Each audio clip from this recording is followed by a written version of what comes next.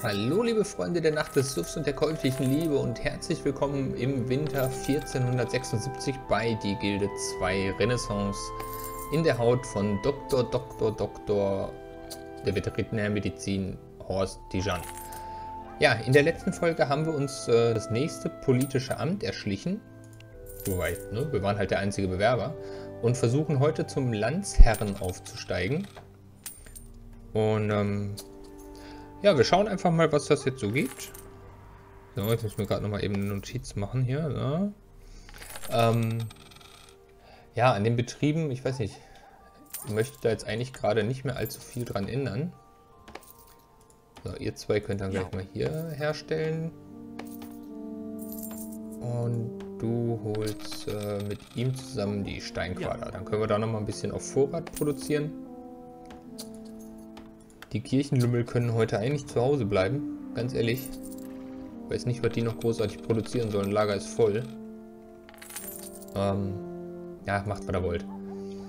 Ja, heute heißt es, den, den Posten des Landsherren an uns reißen, quasi. Eine Dynastie trauert. Aber erst trauern wir gemeinsam mit der Dynastie Schäfke um Maya Schäfke, die heuer ihr Leben ausgehaucht hat. Ist ja so, die letzten zehn Jahre haben sie alle ordentlich ins Gras gewissen. So, du gehst jetzt erstmal Ruf auf die Mutti, du brauchst Nachwuchs. Eine Dynastie trauert. Äh, da, okay. Ich glaube, wir wohnen ja gar nicht so weit weg, oder? Hallo? Wo rennst du hin? Wo wohnen wir denn nochmal? Ach, hier. Dann kann er mal einmal über die Mutti und so. Penelope Hofft aus der Dynastie Hofft ist heuer gestorben. Wir legen eine Schweigeminute für Penelope ein.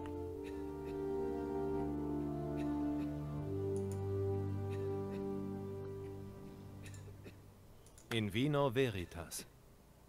Alea jacta est. So, das waren jetzt irgendwie 12, 13 Schweigesekunden. Reicht auch. Wir hatten ja mit Penelope nicht wirklich was an der Mütze. Müssen wir darauf achten, ob er gleich sagt, ihr seid schwanger.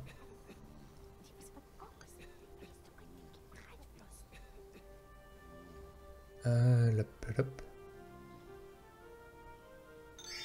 Eine Dynastie trauert. Und die Isabella Kroski aus der Dynastie Kroski ist gestorben. Das ist auch sehr schade. Trainieren, diplomatische Beziehungen, bla bla bla bla bla, brauchen wir alles nicht. Guck mal, und äh, die Simone trägt unseren Stammhalter oder unsere Stammhalterin unter dem Herzen. Eine Dynastie trauert. Ja, die trauert. Oh, jetzt habe ich ganz vergessen zu lesen, wer da eigentlich ins Gras gebissen hat. Nicht so schlimm. Oh. Wir können tatsächlich noch keine Predigt Eine machen. Dynastie trauert. Ja. Was? Ist der nicht schon mal gestern gestorben? Stimmt doch irgendwann nicht. Der David ist doch gestern schon abgenippelt, oder bin ich jetzt blöd? Gebäude Stufengebäude erweitern. Da können wir aber auch nichts mehr machen, ne? Ne, das haben wir alles. Eine Dynastie trauert. Ja. Martina Schäfke aus der Dynastie Schäfke hat heuer ins Gras gebissen. Die Gildenmeister... Oh, Gildenmeister der Patrone unbesetzt. Der Verborgenen unbesetzt. Tja, die haben anscheinend so langsam einen Mangel an äh, Führungskräften, der jetzt sagt. wurde geändert. Dorfvogt Frederik Balitz hat heuer entschieden, dass Eine die Härte der Rechtsprechung in Fichtenhain fortan hart sein soll. Jan Hiebert aus der Dynastie Hiebert ist heuer gestorben. Ey, was macht die denn? Ach, der ist... Oh. Ja, komm. Jetzt, ne? Komm mal in die Pushen und sieh mal zu, dass du da oben deine, deine Klamotte machst hier. Kriegen wir noch... Doch, eine Predigt kriegen wir noch hin. Da, da, da, da, da, da, da. Gläubige gewinnen brauchen wir nicht jemanden preisen und wir preisen natürlich wieder den König. Was soll man anders machen? Äh, eine Dynastie trauert. August Fastermann. Die anderen Dynastien stehen echt beschissen da, oder? Die hatten 800 Mitglieder. Sodass das gar nicht so wehtut, wenn da mal einer ins Gras beißt. Das haben wir, was haben wir denn hier? 13, ja komm. Mal ernsthaft. 48. Wir brauchen zwei davon, das heißt, das reicht für 24 Statuen. Das hier reicht für 14. Das heißt, ihr könnt auf jeden Fall nochmal Lehm sammeln. Tonerde, Entschuldigung. Und, äh, ja. So, jetzt können wir aber so langsam dann auch schon mal überlegen, was machen wir mit unserem nächsten Nachfahren. Wir haben einen, einen Handwerksbetrieb, wir haben einen Gelehrtenbetrieb. In einem Kontor ist das vergünstigte Ah, Warenangebot Pilzkörbe, erlaubt. braucht doch kein Mensch. Ähm, das heißt, rein theoretisch könnte man, ich weiß nicht, Patronen, man könnte so ein Gasthaus machen oder so ein Bauernhof und Gasthaus. Ja, Ist überhaupt irgendjemand zur Kirche gekommen um die scheiß Uhrzeit? Wer geht denn morgens um 7, 8 Uhr in die Kirche? Oh, Die Produktion wurde unterbrochen. was? Frechheit. Ein Gebäude wurde aufgewehrt. Ja, die. Weiß nicht, wie sage ich denen denn jetzt, dass sie mal nichts machen sollen? Kann man die hier irgendwie. Ne, denen kann man nicht sagen, sie sollen gar nichts machen, ne? Äh, Mülleimer. Warte mal. So.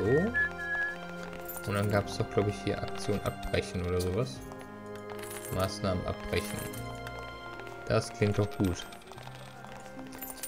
Euer Gebäude Giebelhaus vom Munde abgespart wurde erfolgreich abgewertet, aufgewertet. Abgewertet wäre auch schön. Soll ich mich die Hälfte von meinem Haus niederreißen? Brandbombe. Maßnahme Sabotage nehmen wir. Dunkle Ecke. Ihr könnt jetzt die Maßnahme jemanden beschatten. Ja. Was haben wir denn hier? Mit diesem Gildensiegel mehrt ihr euren Ruhm um zusätzlichen Punkt bei jeder Ruhmberechnung. Vorausgesetzt, ihr gehört der äh, Patronsgilde an. Gut, wir nehmen erstmal das hier. Dette hier. Und haben wir hier Wachhundtraining. Nehmen wir auch. Das nehmen wir auch. Das nehmen wir auch. Das nehmen wir auch. Wir haben es doch. Wir haben es doch.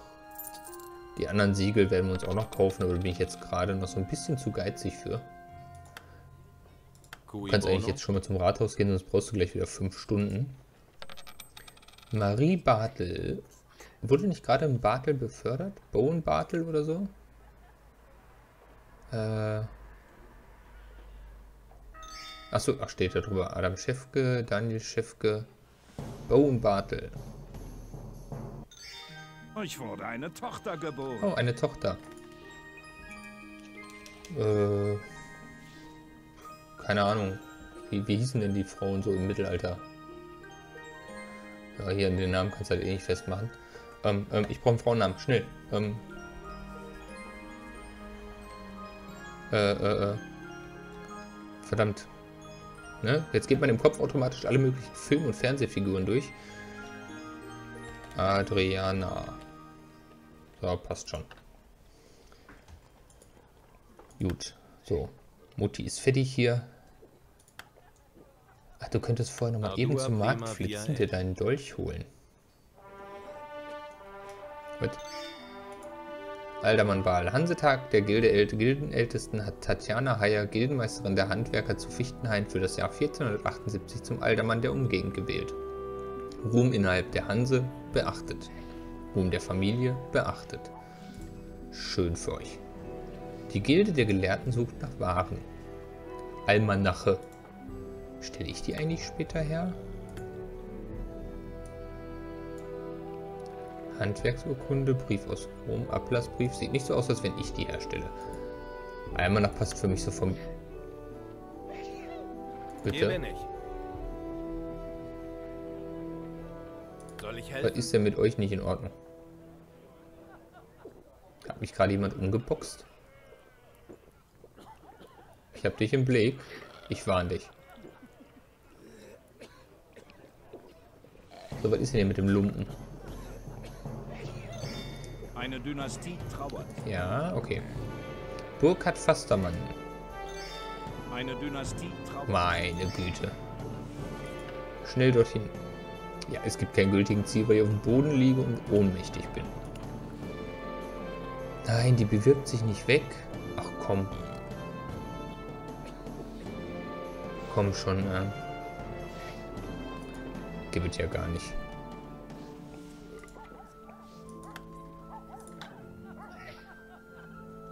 Was, wer bist du denn? Und was willst du an meinem Kadaver hier?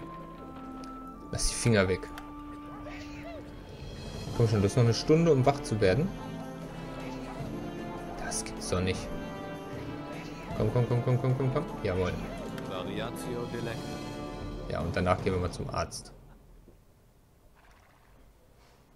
Heben wir den Vino Herrgott, Mama, der ist noch K.O. gehauen auf dem Weg zum Büro.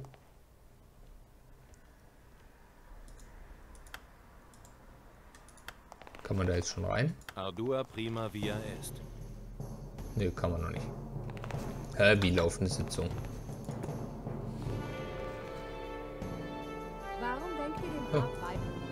Weil ich euch sonst in den Kerker werfen lasse. Erst einmal eine kurze... Eine Dynastie Ja, trauert. Kann die sich nicht wegbewerben? Ist sie doof, über ihr ist doch eine Position frei. Na gut, dann brauchen wir der Wahl auch nicht beiwohnen, jetzt können wir eh nichts machen. Dann gehen wir nochmal zu Mutti.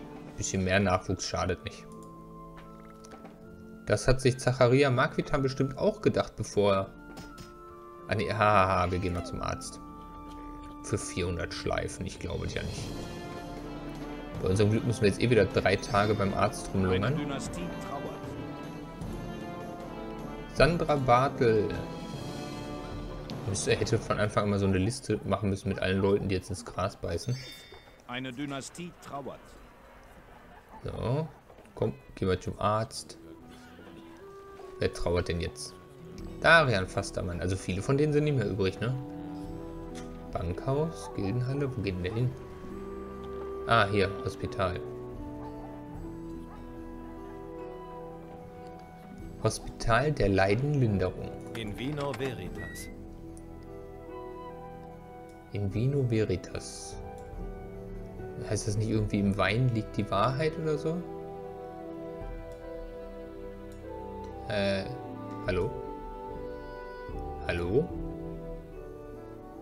War das jetzt?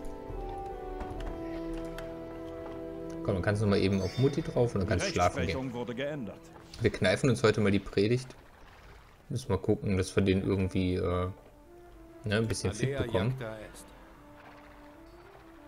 So, hier, komm mal einmal hier. Weiß gar nicht, kann man die zu Ja. Hause eigentlich auch schlafen schicken? Oh, Tatsache. Dann sollten wir ihn vielleicht gleich schlafen schicken. So, der Tag ist jetzt eh fast gelaufen. Bin heute mal wieder nur so bei 12, 13 Minütchen. Aber das ist okay, dafür war heute nicht äh, so viel los. Wir haben die Wahl verkackt. Was soll's. So, dann gehen wir schlafen. Die Simone kriegt ein neues Kind. Also noch ein Kind, nicht ein neues. Das alte geben wir jetzt nicht ab, deswegen. Und äh, dann bleibt mir nur an der Stelle, mich nochmal zu verabschieden. Vielen Dank fürs Reinschalten und ähm, ja, freut mich, wenn ihr auch beim nächsten Mal wieder dabei seid. Lasst mir gerne einen Kommentar oder ein Feedback in irgendeiner Form da. Und ähm, dann freue ich mich einfach auf das Jahr 1480.